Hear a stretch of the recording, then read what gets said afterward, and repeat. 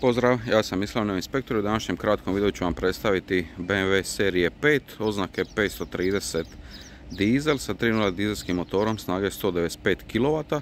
Vozilo dolazi u M paketu opreme, ima 120.000 prijeđenih kilometara te je opremljen 4x4 pogonom.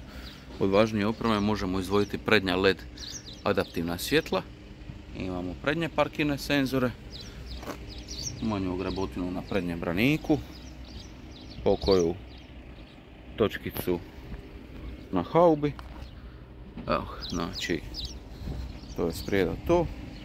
Vozilo dolazi na 20 colnim aluminijskim felgama sa ljetnim gumama. Odlično je očuvano.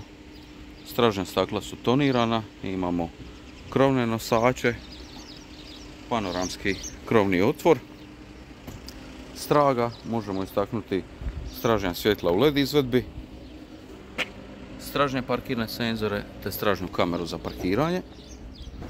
Na lijevoj strani vozila ovdje imamo jednu manju udubinu. Ostatak stanje uredno. Evo, vozilo smo također provjerili i sa našim mjeračem za debljinu laka kako bismo ustanovili da li je vozilo bilo naknadno lakirano. Unutrašnjost izvedena u koži, trenutno dječje sjedalice, u naslov za ruku, stanje klupe je uredno. U vozilo se ulazi keyless, također imamo i mrtvi kut u retrovizoru. Sva četiri podizača su električna, retrovizori elektropodesivi i sklopivi. Vozačevo i suvozačevo sjedalo je poluautomatski podesivo bočnice u dobrom stanju, naslon za ruku.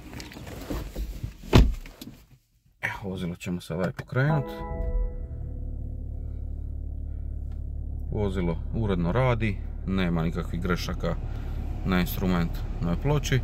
To je od važnije opreme na vozilu, možemo izdvojiti head-up display, virtualni kokpit, kožni multifunkcionalni volan sa adaptivnim tempomatom i grijanjem volana.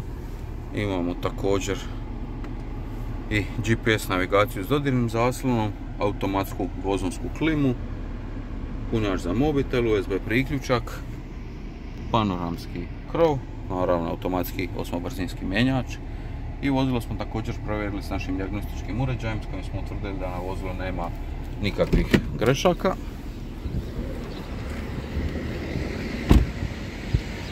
Ukoliko tražite veliki karavan iz premium segmenta, ovo je odličan izbor. Motorizacija je više nego prilagođena za ovu težinu automobila. 4x4 pogon. Ovaj automobil možete rezervirati na neostaroj platformi. Na njega vam nudimo 12 mjeseci jamstva, te ga je također moguće financirati i putem leasinga. Očekujemo vas na prvnoj vožnji, vam pokažemo ovu seriju 5. Hvala i lijepo